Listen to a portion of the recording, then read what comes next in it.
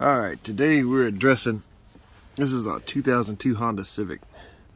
And uh, I have the little airbag lights on and watching a couple YouTube videos on here and there was somebody was showing how to take this thing off and this little teeny tiny micro switch right here can get a little uh, crud or gummy stuff in it over the years and can cause it not to work correctly. So as you can see,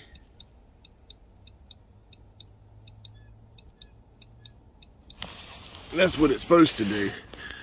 It had a little rubber piece around that little thing right there. I took my pocket knife and popped it out. And then I took some some of this and sprayed it around that little plunger right there. And you would do this and let off and it would it would stay clicked in. And now I got it working, so, and how you know it's doing a real good job while you're doing this, just look up there.